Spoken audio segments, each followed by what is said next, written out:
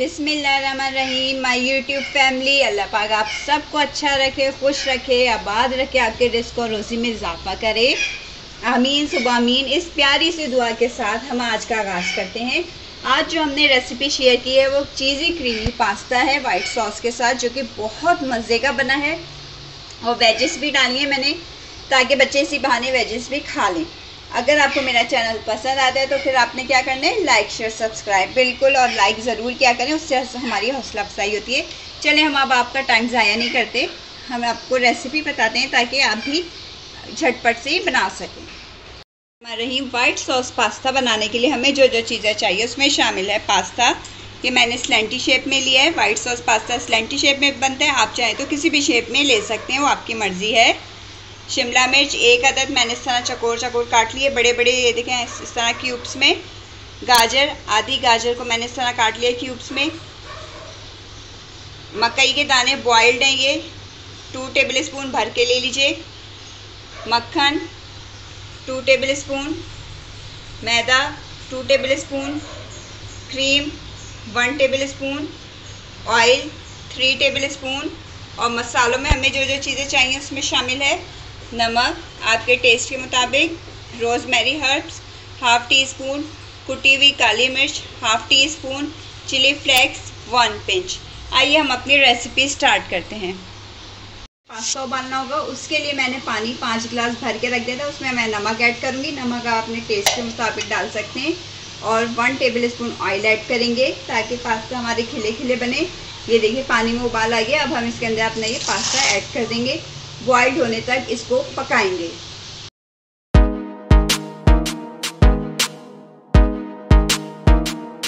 Pan में हमने सबसे पहले बटर डाला। बटर डालने के बाद हम ये मैदा डाल देंगे और इसको मिक्स करेंगे जल्दी जल्दी से। ये बटर हमारा मेल्ट हो जाए और हल्की हल्की सी खुशबू आने लगे। फिर हम इसके अंदर मिल्क ऐड करेंगे ग्रेजुअली थोड़ा थोड़ा डालना है। एकदम से नहीं डालना होगा। देखिए, हमारी वेजेस शेलो फ्राई हो गई हैं। अब हम इसे निकाल लेंगे और अपना वाइट सॉस रेडी करेंगे। थोड़ा थोड़ा दूध डालेंगे और इसको फ़ौरन मिक्स करना होगा। जल्दी जल्दी। दूध आपने थोड़ा थोड़ा करके डालने की गुटलियाँ ना बनी है देखें। अभी दूध हमारा मिक्स हो गया। ये देखें, अब हम इसके अंदर दूध और डाल देंगे। ये कम से कम हाफ़ कप मिल्क गया इसके अंदर। अपने सारे स्पाइसेस ऐड कर देंगे। ये ऐड करने के बाद इसे अच्छे से मिक्स करेंगे। ये देखिए। और क्रीम ऐड कर देंगे। ये देखिए।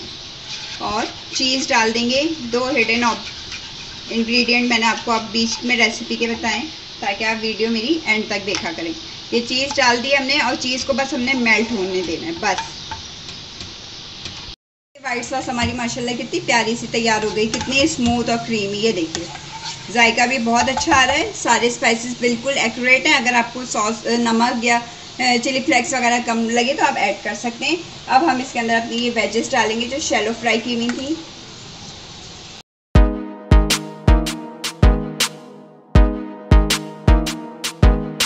अब हम इसके अंदर बॉइल किया हुआ पास्ता डालेंगे।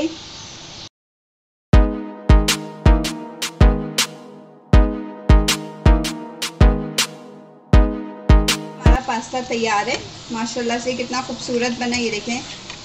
बहुत प्यारा कलर आ रहा है। अब हम इसको करते हैं डिश आउट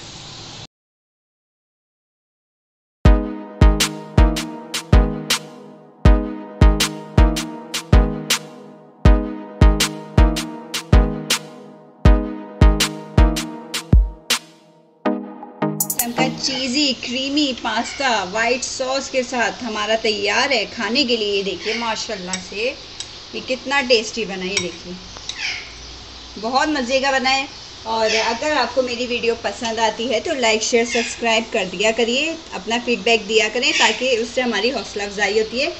और अगर आपसे कोई इंग्रेडिएंट मिस हो गया तो डिस्क्रिप्शन बॉक्स में मैंने सब मेंशन कर दिया, आप वहाँ जाके चेकआउट कर सकते हैं।